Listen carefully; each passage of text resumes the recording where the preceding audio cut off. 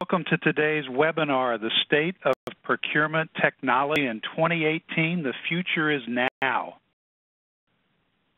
Um, tell you a little bit of uh, housekeeping uh, information before we get into the future, which is now.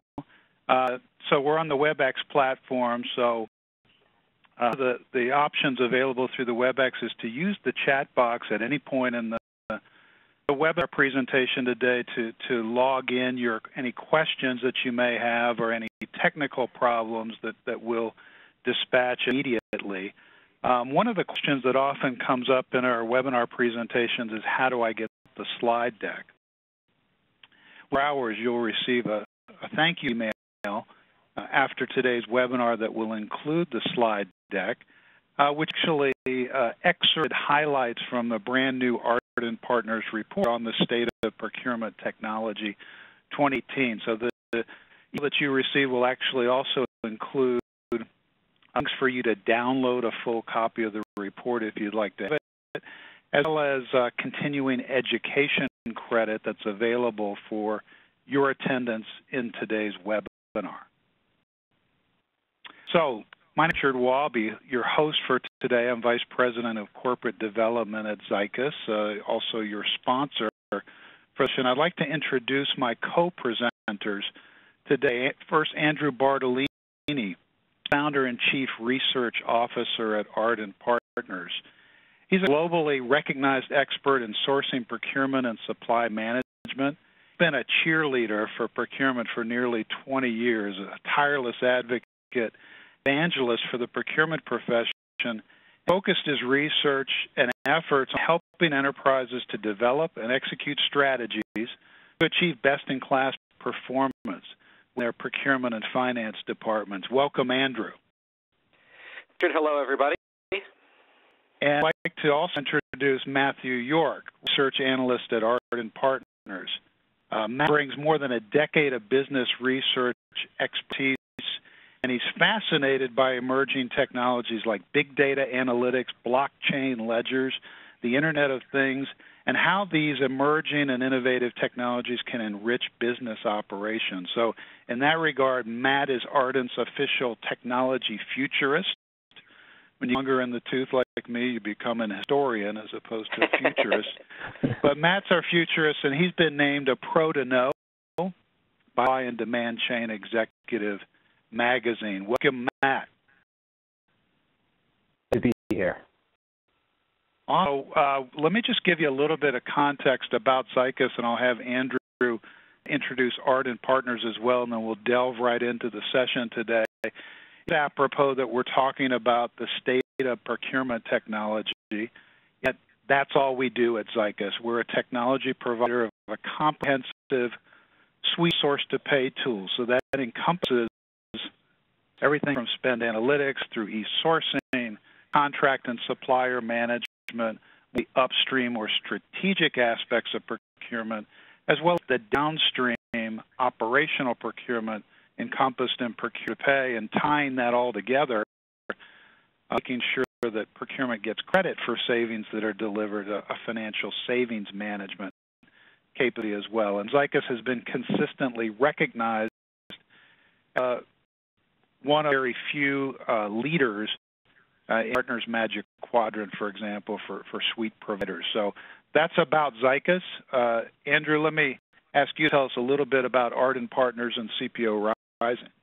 Great. Thanks, uh, Richard, for that great intro. And um, hello, everybody. Um, yeah, so, so Ardent Partners, I'll actually have a slam in a in a few, but uh, one of the the things that we do is we publish a network of sites, and one of those is CPO Rising, which is a site that really tackles the the challenges and, and concepts and strategies that uh, help procurement organizations uh, drive success across their operations and uh, impact their results. If you enjoy uh, this presentation, invite you to uh, visit the site cporising.com. Now we like the title and concept of CPO Rising because procurement has been on the rise over the past uh, uh, 20 years that I've been working in this industry. Um, CPO Rising is also the name of our annual event that brings uh, approximately 150 CPOs and other global procurement leaders uh, to Boston for um, a two-day executive symposium. Um, you know, it's a, uh, an event that um, you know we we spend a large amount of time focused on and, and, and executing, but you know it really is um, an opportunity for uh, procurement leaders to come together and exchange best practices and network with like-minded peers. And you know, for those of you that are uh, interested, please uh, investigate the site there, events.cporising.com, and uh, definitely uh, consider saving the date, uh, this number. Um, now, Artner's right. So we're a Boston-based research and advisory firm that focuses on defining and advancing the supply management and financial operations strategies, processes, technologies that drive business value and accelerate organizational transformation within the enterprise. Right. So we focus only on supply management, and and we publish research that that helps organizations uh, understand industry best practices and how to improve their performance. And then we publish research like the uh, today's presentation um, upon the, is a report-based uh, procurement technology. Um, you know, this type of research helps um, procurement and, and AP organizations gain insights into the technology landscape and understand uh, strategies to identify the best fit solutions for their budgets and requirements. Uh, our, our agenda today is, um, again, based upon a report that Matt York and I recently published, and, and, and Zycus is going to make that report available to you. And, and, and the, the structure of today's presentation generally follows the, the structure of that report, uh, but, but, but we also have a great great fortune in doing is uh, we've got Richard uh, who's going to come in and layer in three great case studies that really looks at um, in organizations in different levels of maturity, right? And so I, I do a lot of presentations. We produce uh, an enormous amount of research, and, and one of the challenges that, that we often face, right, is is is finding the the right the right level of engagement, or where to start the conversation, uh, because procurement organizations are, you know, can you know, great procurement extraordinary commonality um, in in processes and in best practices and in the technologies that can really drive value across operations.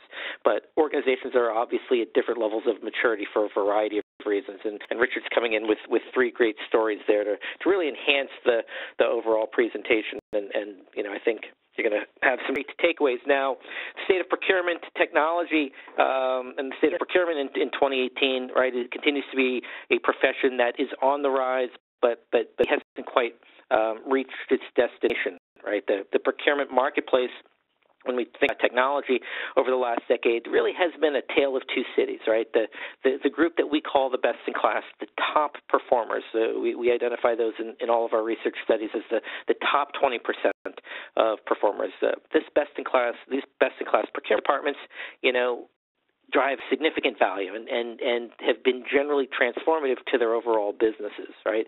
These leaders have become um, competitive advantages for their businesses.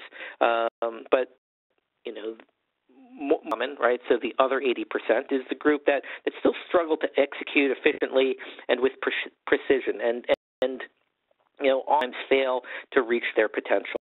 Uh, now, his presentation, I think, is relevant for both groups and, and, and, and really, you know, procurement organizations of, of, of all levels of maturity, is that when we look at the list of differentiators between the top performers and those that are struggling, uh, the laggers, and, and, maybe those that are in the middle, um, you know, the ability to use and drive techno- uh, value from technology investments sits at the top of those differentiators. And, and you know, one of the, the really exciting things about the procurement technology market today is that we really have entered uh, an age of innovation.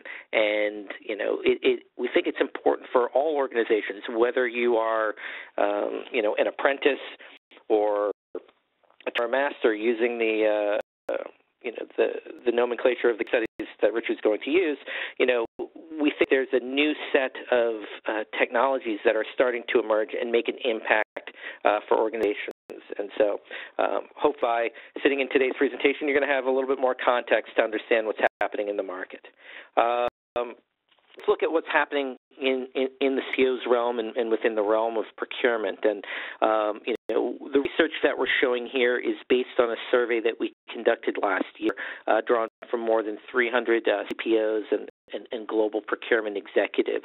Um, you know what we're what I'm showing you here is you know what are the CPO's top priorities looking at over the next couple of years, and um, you know this is the so this is a research study that I've conducted annually for the past 12 years, and this is the first time that savings hasn't been the top uh, midterm priority. Um, and you know that may be attributed to where we are in the business cycle, um, but I think that, that that more of that is that you know, or, you know, understanding that that savings is not uh, the end all and the be all of, of procurement success, and that more organizations are, are also understanding that. And, and so, as a result, uh, CPOs over the next couple of years are really focusing in on the areas that need to be bolstered. Um, you know, the processes, their uh, the level of skills that they have, and and when we we start to look at why it's those areas, we, we look at the top challenges facing procurement departments. We head into 2018, um, and and so for many many years. Um, and, and even anecdotally, right? I, I, I spend a lot of time working with CPOs and, and interviewing them, and um, you know, briefing with them to understand what's happening in the marketplace. Um, by and large, those conversations inevitably hit upon uh, the staff and the talent capabilities within their departments, and and that has been a longstanding challenge. Um, as we see here, for 44 percent of organizations, so you know, maybe a little bit less than half, but um, the challenges that organizations face on the on the talent side are both the talent standpoint, right? So procurement's purview continues to expand and grow, and you know, continues to be asked to do more, whether that's placing more spend under management or tackling other, um, you know, or um, you know complementary um, tasks and activities. Um, you know they're not given headcount to to match that expanded um, purview. Um, the other challenge that organizations face is the the level of skills within the existing organization, and, and how do you upskill them? Uh, now, budget constraints is is is also you know something that you know I think is you know one of the re, you know is is you know can be explained by where procurement sits within uh, the average organization today, right? Procurement's not typically at the front of the line when it comes to when it comes to budget time. Um, so challenges, but you know, sir, what are CPOs doing in response to those challenges? And um, for the first time, again, you know, 12 years, uh, you know, doing this annual study, um, for the first time, you know, ever, you know, we had savings not uh, as, as the top CPO priority. Um, for the first time uh, ever, we also have uh, improving the use of technology as the top strategy uh, in a given year. Um, and and so, you know, why is this significant? Um, I think that you know organizations have. Uh, um, you know, obviously the procurement technologies have been around for a long period of time and, and, and, and are you know, part of the explanation of why procurement has really transformed from a, a, a back office function to something that is much more strategic, uh, you know, by and large across uh, across the, around the globe. Um, use of technology, I think that that you know we have seen such a significant amount of innovation uh, in the supply management technology market over the past couple of years that the solutions now are much more usable and much more accessible. And uh, you know, as CPOs, you know, top performing organizations understand that you know they're not going to be able to dramatically increase their headcount anytime soon. The ability to use technology to scale operations, to enhance the talent within the organization, and to you know continue to support an expanded um, or growing list of, of responsibilities, um, you know, in a in an efficient and effective way. Um, you know, technology really does become, you know, a, a, a critical enabler. Um, you know, it helps in, in some of these other strategies as well whether it's proving capabilities um, uh, or collaboration uh, with with budget holders or improving communication across the organization. Um, you know, we think we're on, on the on the cusp of the next wave of of, of technology advancing uh, within within procurement organizations, um, and we think that that wave is overdue. Uh, what I'm showing you here is the list of primary procurement applications that that support the main operations within a, a, standard procurement department. And I'm showing you the percentage of enterprises that have adopted each of these solutions. And um, you know, I'm you know no longer surprised by these numbers. Uh, they continue to to tick up slightly year over year. Uh, but but you know, what we see here is that you know, by large, um, most procurement organizations have not fully automated their source to settle process, right? So, you, you know, outside of e-procurement and e-sourcing, which have been uh, around for the longest period of time, and, and, and, from a functionality standpoint, are the most mature applications in the market. Um, you know, even there, um, you know, there's a, a large number of, of procurement departments and enterprises that, that haven't started to utilize these technologies. And we think that that time is overdue. Um, certainly, there are entities and, and challenges in you know all all different types of organizations and you know the different models and and and and different and different approaches are, uh, or I should say that, that different approaches are required for organizations that are at different points in their, maturation, the different levels of sophistication that exist in the market. And so I'm going to uh, Richard back into the conversation and let him walk you through a great, uh, great case study focused on uh, the apprentice type of organization. So, Richard. That's right. And as you mentioned, we're going to sort of use this metaphor that's uh, in place in the skilled trades of, you know, you progress from the apprentice to the tradesman to the master. And first case study will start at, at the logical starting point, the apprentice. So when you're an apprentice, you're sort of veritable blank slate. Uh, you're there to learn. You need everything. You need it all at once. And you know, in terms of the the technology adoption market, sort of the backstory that we present here is these are those organizations that, that have largely been on the sidelines. You just showed us the adoption rates of different types of procurement technologies, you know, ranging from 50 percentile to you know down as low as 20 percent. But for this apprentice group, they're they're really just getting started. It's a clean sheet of paper and not the exclusive domain of, of what we'll call mid-market or high-growth organizations, but those organizations in particular uh, have more likely to have been on the sidelines to this, this point. Larger enterprises being amongst the earlier adopters of, of procurement technology, but many at this stage find themselves in the situation where they've outgrown their existing technology infrastructure that may be some kind of legacy and or ERP type systems. And the challenges that they face is just doing the basics. Um, you know, limited resources, they tend to therefore be consumed by just trying to get orders processed and, and invoices paid. So, you know, a disproportionate amount of resource consumed by inefficient, tactical transactional processing. And the symptom, if you will, here is a lack of control. So rampant maverick spend, really limited spend visibility. And key drivers for a lot of organizations at this stage is there's some type of a compelling compliance event.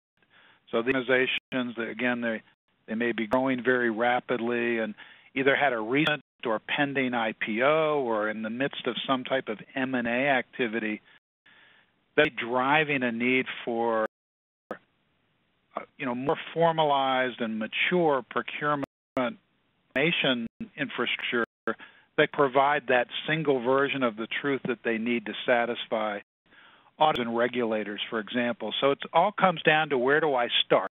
I can't go all at once.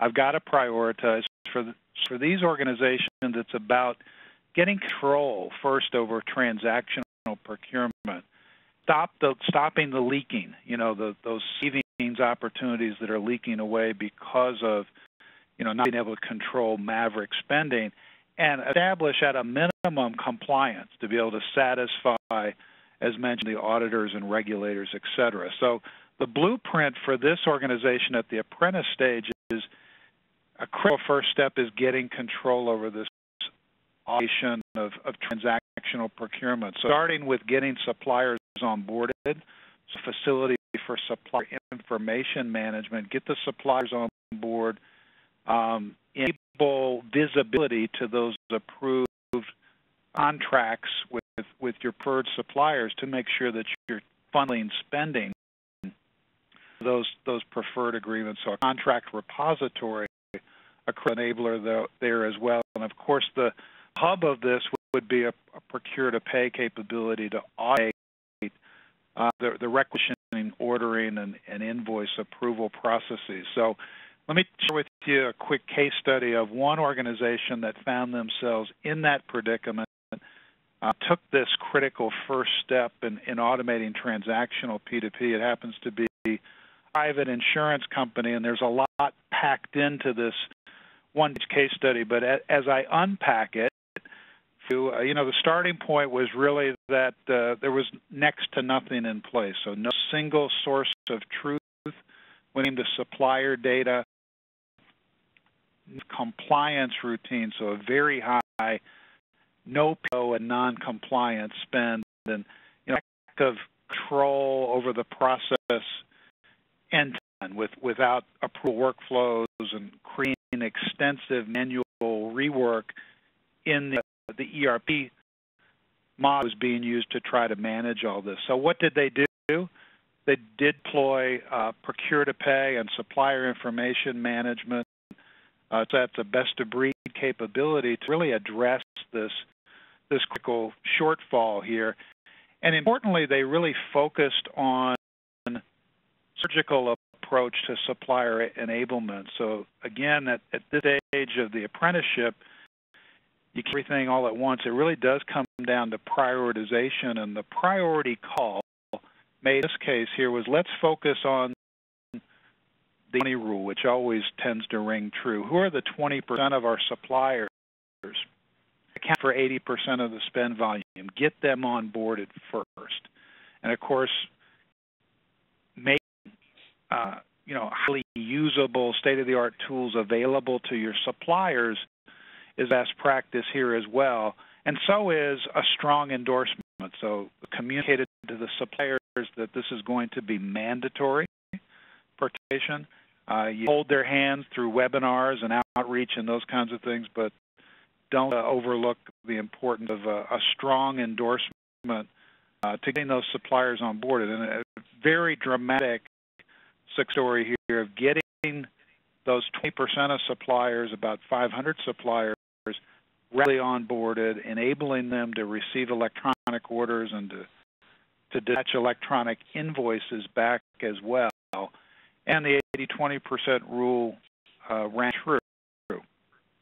tier suppliers that are commerce savvy are enabled via a standard protocol like cXML, but simply having a portal available for the other 80% uh, that need a browser to, to access the system really was key to getting that kind of adoption, not just on the the use side of the buying organization, but on the supplier side as well.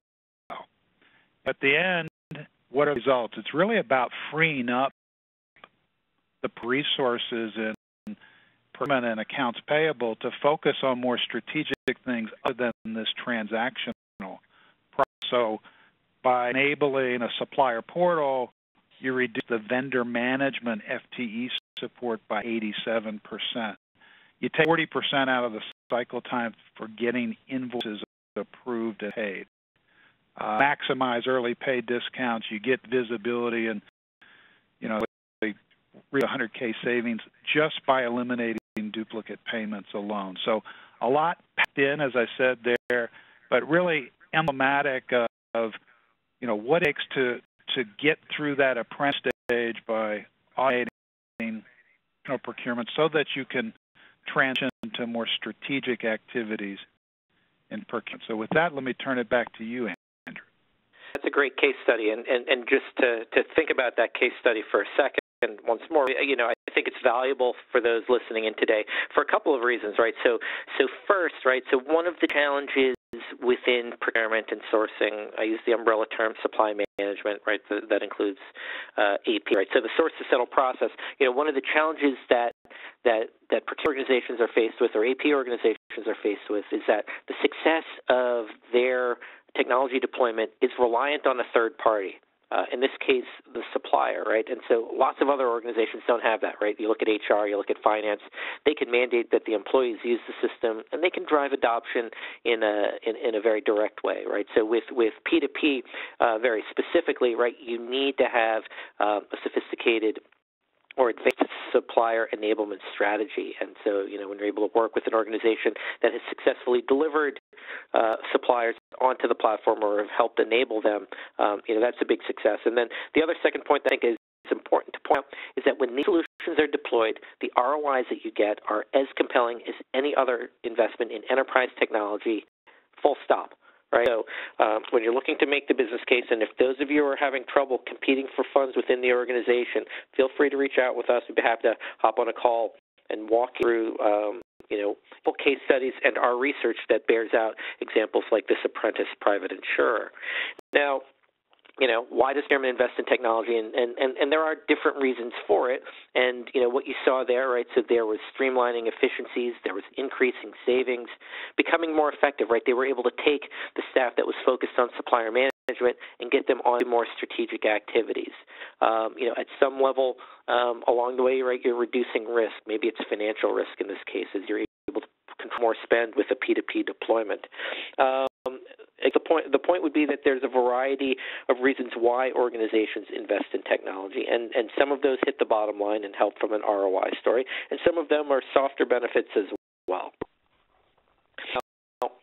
You know, this, this uh, slide, I guess, you know, really does show that there is a difference between doing something and doing something well, and and, and that continues to be, you know, a theme within procurement more broadly, but certainly within procurement technology. What, what I'm showing you here is the the self-rated grades that CPOs gave their organizations for their level of technical proficiency, and what you see is that you know small handful of organizations, right? 15% are are operating at the the um, you know advanced or very advanced stage uh, stage.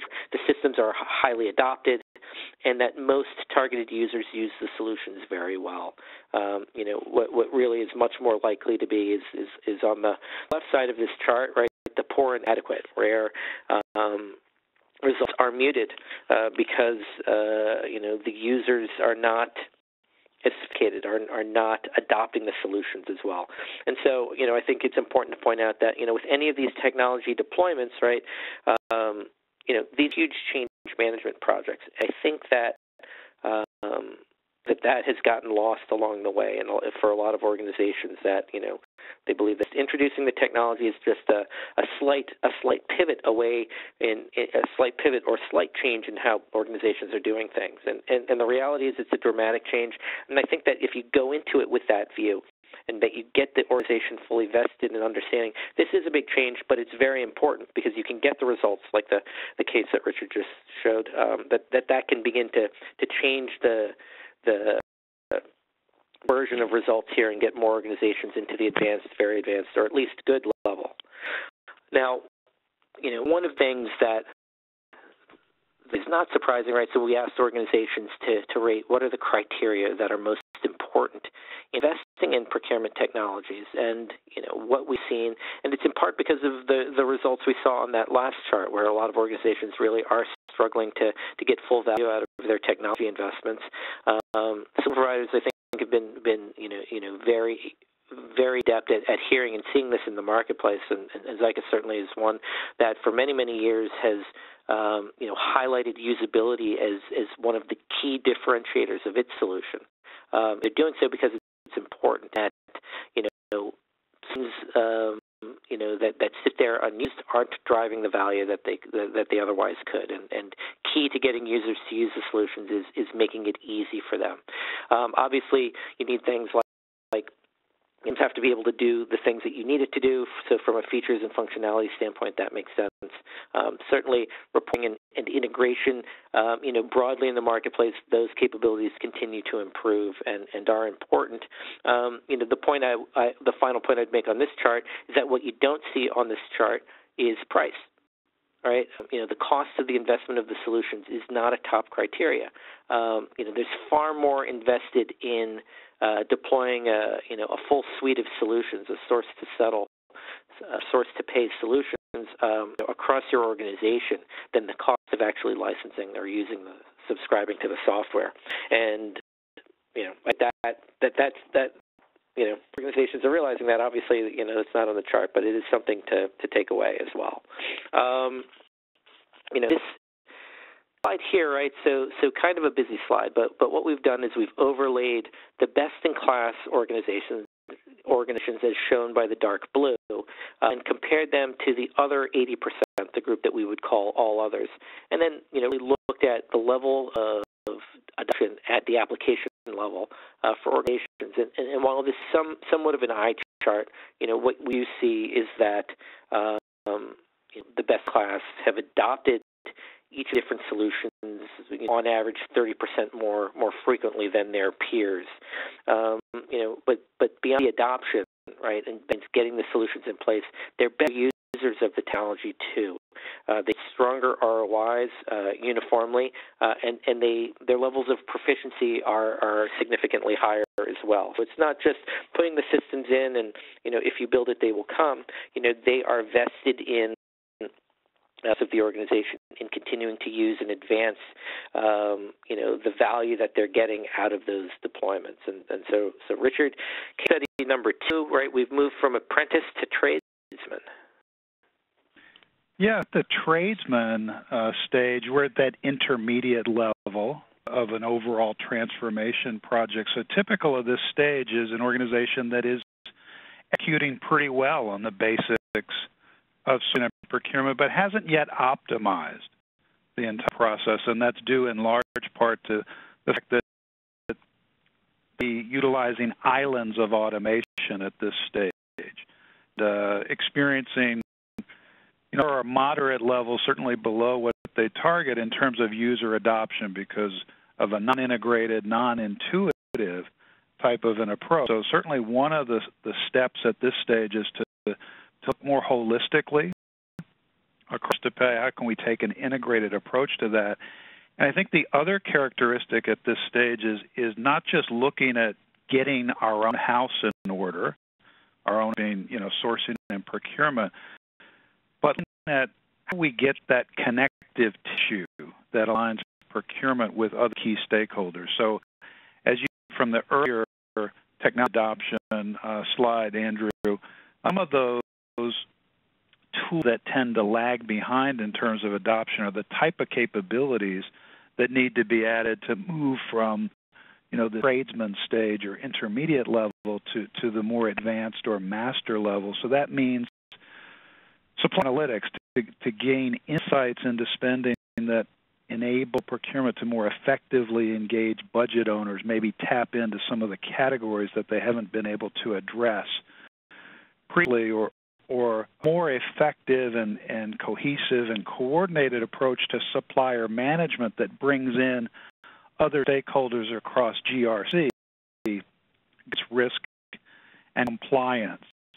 Uh, when it comes to contract management, as you showed earlier, while many organizations may have deployed a repository to get visibility to at an enterprise level to agreements making that authoring capability that's going to not only standardize the process, but get legal engaged uh, in the entire contracting lifecycle. And finally, a, a more effective front end, a, a portal to the procurement process that allows end users through a request management capability to to engage more effectively with the procurement function, get procurement involved uh, where they're needed, and have visibility to the status of their request. So that's really a, what the tradesman uh, stage focuses on. I'm going to share with you a case study here. Um, don't need to tell you too much about who Porsche is. Obviously, an iconic sports car. In fact, this looks like the drive, Andrew. Um, so Porsche uh, America, Porsche Cars North America, actually operating a shared services type of a procurement center uh, that serves PCNA as well as 11 other North American affiliates. So I want to talk about what were the challenges they face from a shared services procurement standpoint, sort of being at this intermediate level along the transformation journey. And challenges we look across areas of you know request management, sourcing, contract management, supplier information, and and project management overall. Um, you know, first, but they lacked an ability to engage end users because of you know highly manual and inefficient process. Most of the time, end users are picking up the phone or sending an email to person saying, "I need help to get a supplier onboarded or a contract negotiated or, or a sourcing event committed, uh, and not really having any visibility or transparency into the status of those requests, as well as not having a way to effectively triage those requests because they're not all equally important, and procurement needs to a way to prioritize uh, requests that come in to the work queue and make sure they're working on the right thing. So when it came to seeing then low adoption, therefore non-compliance to the prescribed process, they have a contract repository but no authoring capabilities. So they really hadn't brought in into the process. And when it came to supplier information management, a symptom typical of a number of organizations is that supplier data was in fact fragmented across multiple disparate systems. So you're lacking that single version of truth when it comes to suppliers. And then overall, from a project management standpoint, it's like driving this high performance car with no gauges on the dashboard. So no enterprise level visibility and reporting from a management standpoint and, and, and no effective means for enabling cross functional collaboration at the at the the carrier project team level. So to address those challenges and apply sort of the Porsche principle here, which is how do we translate performance into speed and success, um, deploying an integrated suite of tools that, that enabled all of these capabilities was key to improving dramatically the performance of the shared services procurement group. And it starts with that port to procurement, that front end for end users. And the principle that they applied first and foremost was by enabling self-service access for end users, maybe procurement doesn't have to get involved at all.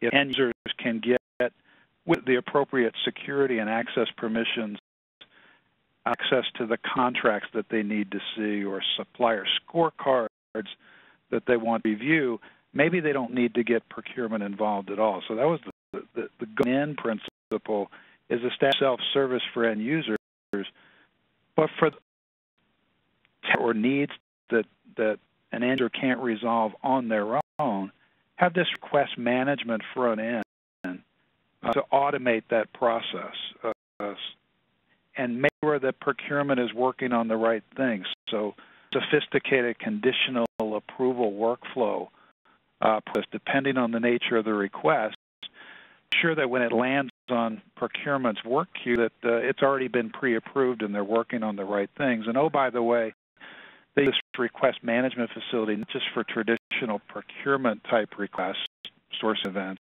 contracts, suppliers, but also non-procurement things like, like uh, visioning hotels or, or facilities, uh, projects, and those kinds of things. So transferring or, or segueing then into the sourcing process, uh, more intuitive, more standardized, templatized processes to accelerate the, the overall sourcing cycle and drive efficiency, adding authoring in contract management so that you can standardize the process and define uh, types and subtypes and, and required clauses and speed along the approval cycle. Because after all getting that contract in place is key to time to value. You've negotiated the best total cost agreement.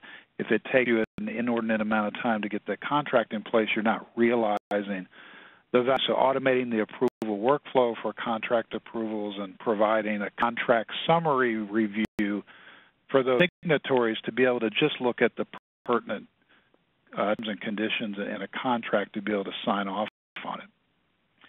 An integrated process to SIM was also key in, in this case. So supplier onboarding that encompasses a conditional logic and workflow to for instance, enable IT security reviews when you're onboarding certain types of vendors that meet that meet certain risk profile. Having that one source of truth for all your suppliers, whether those are potential, operational, or strategic suppliers. And then at the end of the day, having that dashboard visibility with all of your gauges operational to manage the process in a more systematic way from from a procurement leadership standpoint. So uh, it was about realizing the vision going from zero to 60 very fast. So at this single source of of the truth, uh, deploy easier to use solutions to drive higher adoption, et cetera, and, and in very short order, so less than a year, getting uh, critical mass of contracts visible, uh, off a number of sourcing events, getting all your suppliers in one place, and across a, a number of savings projects driving a, a significant percentage of incremental savings as well. So this is how you move very quickly uh, into that tradesman stage to to get to the the next stages of maturity. So let me turn that back to you, Andrew. Great, great, great. So, so Porsche, with the, the visibility um, on the dashboard and, and the results that, that cascade out because of it, right, and, and doing it at a, at a you know, at lightning fast pace. Um, you know, what I'm showing you here is the level of visibility that procurement organizations have again stratifying or comparing the best in class right those top performers right who as, as we saw a few slides ago have adopted technology to greater degree and with greater impact. Um, you know we haven't really focused on the results but the best in class save more. They've placed more spend under management. They have higher levels of compliance. Um, what we see here is you know the effect of uh, you know you know, of, of, of their greater use of technology. And while you know, the best do not possess universal visibility. The frequency in which they possess it compared to the others is compelling, and, and it ranges as high as nearly three times greater when looking at areas like compliance and supplier performance and risk. And the, this visibility, you know, certainly does translate into results. But but now we're going to pivot and start to look at um, you know the future, and, and, and as the report is titled, "The Future Is Now." And so I'd like to reintroduce uh, our analyst and our technology futurist, Matt York. So Matt. Andrew? You know, we often say at Ardent Partners that it's an exciting time to work in procurement because of procurement's mission and value proposition, but because technology is changing the game of procurement and supply management as a whole. You know, two decades, procurementers and practitioners have been do, have been on a long and steady march towards transformation and process automation, and I saw that in, in the charts uh, previously. And there have been some other transformative technology, technological developments over the years. You know, rise of solution suites, the proliferation of mobile devices and mobile applications, and these migrations to the cloud. But now, years later, we are right away of innovation into the future procurement. Here it's happening now.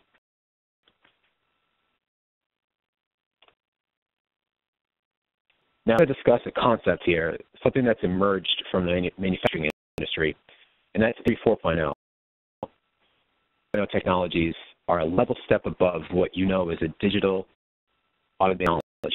They go beyond process automation and linkage to effectively make the world smaller.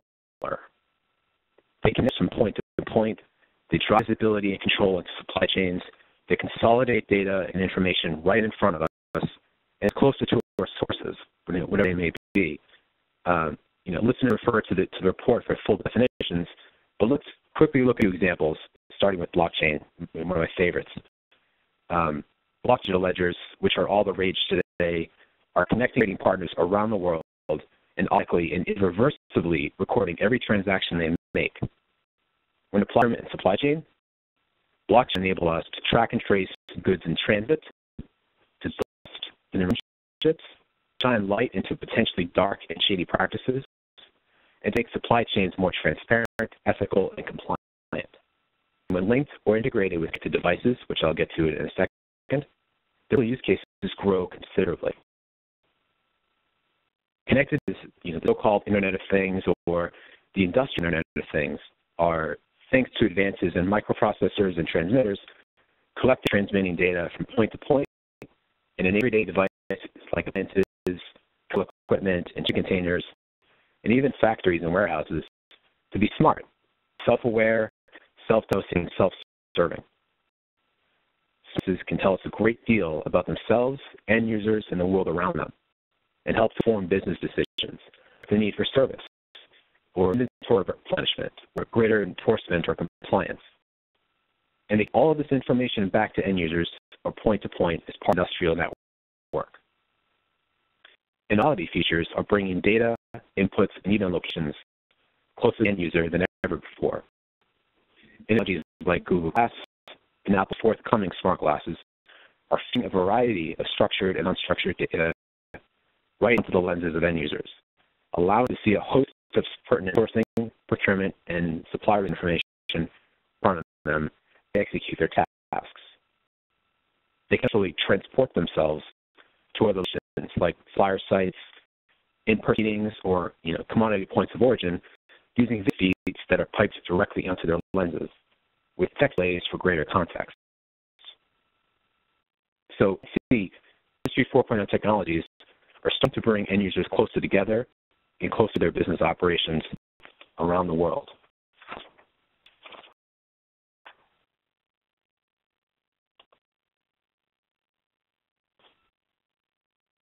Is making the world smaller, artificial intelligence is making the world smarter. The intelligence has been used and abused quite a bit lately. And the matter is, it's not any one technology, but rather it's, a, it's an ecosystem, interconnected smart technologies, and it means that when they represent a whole that's greater than the sum of its parts, that augments knowledge workers rather than replaces them. Artificial intelligence is in the advanced data management and analytics engines, then to consume big data for procurement terabytes of data that the human hand couldn't possibly process on their own. Using algorithms to study user data, that adapt user workflows, that hidden insights, and that hidden sourcing and procurement opportunities, or something that the human eye couldn't see. Codes enable machines to replicate human level cognition, the layers of the problem, like a higher quality issue, and independently dig deeper for a solution image processing, and speech recognition software that enable users to seamlessly interface with computers and put them to work for us, not for them. It's in the charts that pop up in the margins of our desktops and it's notification stuff, like the status of a contract review, or that, or, or that if we need help today. And it's Siri and Alexa and Cortana, ability to answer questions, execute on tasks, and do seamlessly. In robotic process automation, you know, which is to outsource smaller tasks to a bot. That are readable, scalable, and important, but as knowledge workers just aren't worth our time. AI innovations are personal and now our professional lives easier and exciting and allow us to take on more strategic, value-added work going to help us get to the next level of performance. Um, you know, people like to say that uh, that AI is going to replace us at some point or you know put us out of jobs, but I just don't see it happening. I see that them being part of our lives and part of our, our, our workflows uh, for some time and really helping us to to to, to achieve our, our highest potential as knowledge workers.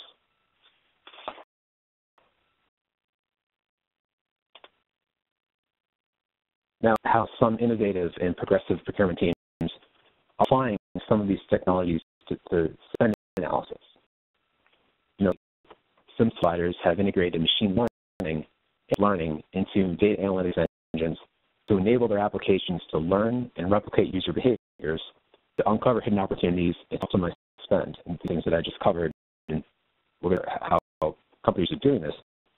Uh, you know, algorithms can analyze user behaviors during the air spend analysis process, from spend data from sources to cleansing, classifying, analyzing, presenting it.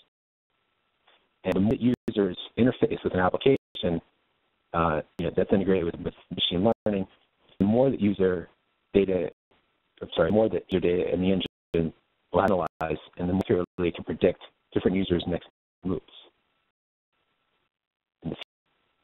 and excuse me, this is where we really pay future truly intelligent spend analysis solutions may be to not only identify hidden or missed savings opportunities and spend data, but by using that data, they may now be able to predict seasonal lows and trading patterns, commodity surpluses, uh, excess production capacity, or, or, other conditions that depress prices and make them advantageous to buy now.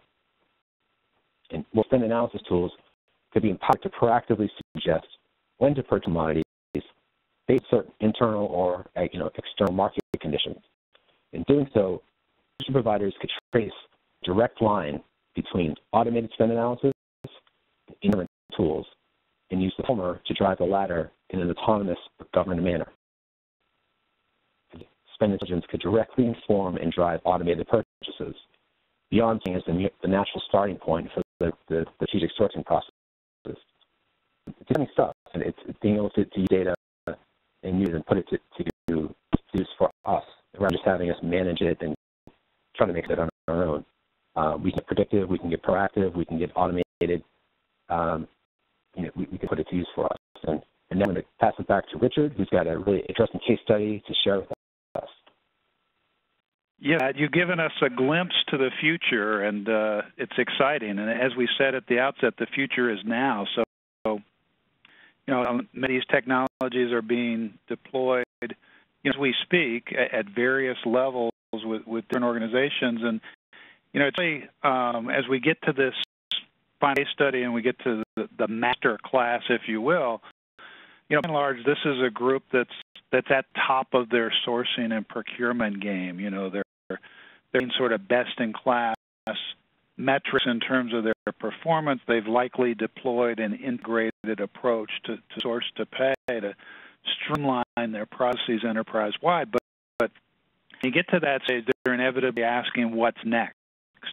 And deploying these 4.0 kind of procurement technologies to get to that next level of performance is one of the most viable uh, strategies for folks at, at this master stage. In fact, we kind of look at they are today and say they're likely then to pursue one or more of following strategies to get to that next level. So part of it is about pushing the envelope on, on adopting the, the 4.0 newer emerging technologies.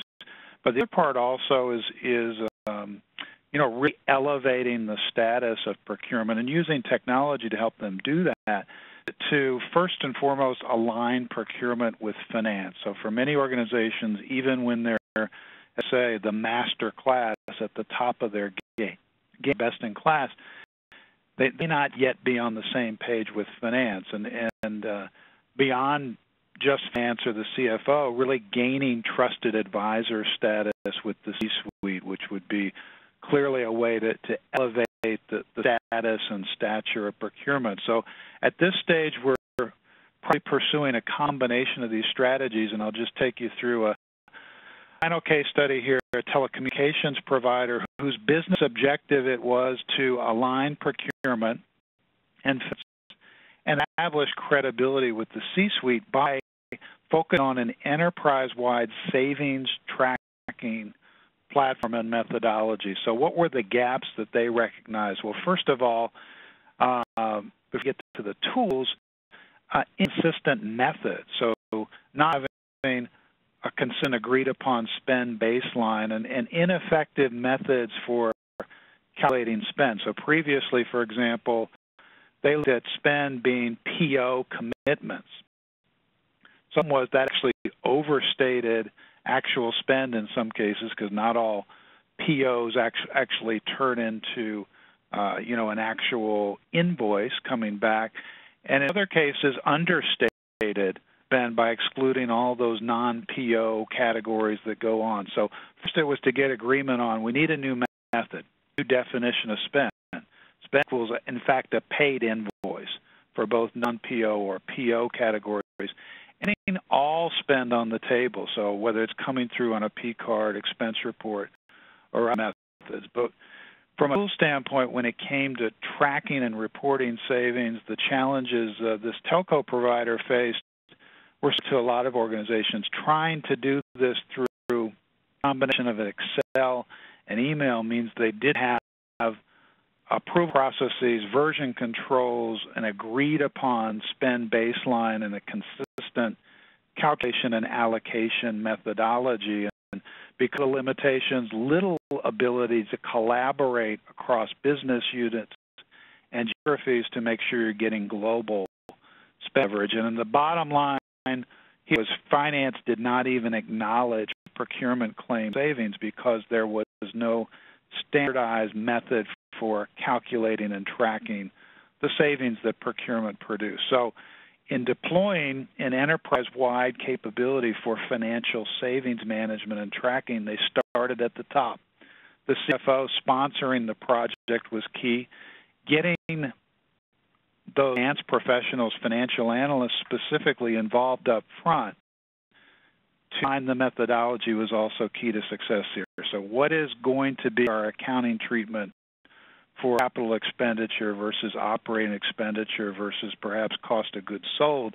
And how are we going to define cost reduction versus cost avoidance? So, what they rolled out was this global platform that could provide a single version of the truth, a full audit trail, version control, make sure you have secure access across the enterprise bring in those global users, so that means having foreign conversion, uh, multilingual user interfaces, being able to accommodate all the different types of savings projects and definitions. And at the end that you've got uh, accountability, so sign off by budget owners and ants and full dashboard analytics. So platform in a relatively short period of time within the first year is can be viewed by the CFO as the tool that saves me money, which means increasing the volume of savings projects, over 600 savings projects, increasing the savings rate, so 40 to 50 million in incremental savings, and bringing all the stakeholders involved into a common platform and lexicon. So hundreds of users across the organization and uh, driving dramatic productivity. So category managers actually figured they they got back two hours of every day. So 25% productivity gain if they're not having to gather data to report on the things they're contributing from the, the categories that they're managing. And at the end of the day, it also meant ending this capability beyond traditional procurement. So savings tracking for non-procurement products like reorganizations or ERP consolidation or M&A, and applying to other processes. But SOP, cash flow, etc. So that's how you get to the the level of purpose. And let me turn it uh, back to you, Andrew, for some closing thoughts. Right. strategies for success or recommendations, right? So, you know, against the backdrop of rapidly evolving supply chains and, and so customer bases, how organizations communicate, collaborate, transact with their trading partners, and the enabling technologies and platforms that they utilize will take on increasing importance to procurement operations and to business success, right? But to start, right, the CEO and the procurement leadership teams simply have to make technology adoption a priority over other considerations. If they fail to do so, they're signaling to the entire organization that poor or mediocre user adoption is acceptable. So here's some recommendations based upon the, the three tiers of maturity as modeled in this presentation by Richard. Right. So the apprentice, and, and I think here, right, it's start with and focus on the basics and getting them right right? Um, you know, more than anything else, right? You have to be able to, you, you know, walk before you can run. Um, you, know, you have to learn how to drive the car before you start taking a, a Porsche from zero to sixty very fast. Um, you know, collaborate with the partners and the expertise within the organization, like IT, uh, and leverage the strengths of that organization. You know, build consensus. Um, as I said before, when we were looking at the apprentice uh, business case that Richard, uh, you know, walked us through, right? The ROIs are there, right? What needed is, you know, sort of the backbone and and the focus um, to to get it done, you know, essentially. Now, tradesman, right? So this is where you've got some technologies in place. Um, and starting to make it part of the you know standard business operating. Now you look to sort of you're in what are the next levels of capabilities, right? So Matt walked us through, you know, some some some very exciting capabilities that uh, you know have emerged, right? So you know, the future really is now. Technologies today, um, you know, are going to you know enable a different type of analysis. You know, from a, a big data management standpoint, we're already seeing procurement organizations uh, taking their operational data and becoming smarter in how they execute their projects based upon um, analysis that would not have been able, you know, that you're not able to perform, you know, within Excel alone. Um, so it's really starting to build here the path to the next generation forward, and it really is, as Matt said, an exciting time to work in procurement because these technologies really do have these newer technologies have the opportunity to be truly transformative and to get procurement to the next level. Um, so, you know, for right? So, so for all organizations, really, you should be looking at the Industry 4.0 technologies. Um, you know, not because you're going to start to use them today, uh, but because you're beginning to, you know, start to understand how they emerge and what the opportunities are. Now, for you know those that are the masters, the most advanced and mature, we we would call them the best in class as well. Um, you know, now is really the opportunity to investigate more significantly these technologies that have been proven uh, of great value elsewhere within uh, the business landscape, maybe even elsewhere within your own companies. Uh, but but now's the time to to begin to look at um, you know. For, from a real term and from a near term standpoint, you know, where are uh, the use cases for some of these capabilities? Again, it's a very exciting time. Um, you know, you've got to got to walk before you uh, can run, and um, you have to walk before you can drive too. So, um, you know, with that, uh, I think we'd like to open up if we've got time for a question or two. Usually we don't, Andrew, but and, and, and Matt, but we we wanted to make sure we got through all the content. We will be able to follow up afterwards for for the questions that we've received. But uh, unfortunately, we're, we're short of time today. But we wanted to make sure we covered you know highlights from this report, and, and I think hopefully whet the appetite of the here to download the full report. So uh, you're going to get, as I mentioned, outset uh, an email within 24 hours from, from the webinar that will include uh, the slide deck presentation. You'll have access to that and, and, the ability to download the report along with your continuing education for the session as well today. So finally, here's the contact information to reach out uh, to any of us for, for uh, more information or dialogue. We'll follow up on your questions. And thanks so much, Matt, for a great presentation. Thanks everyone for attending today.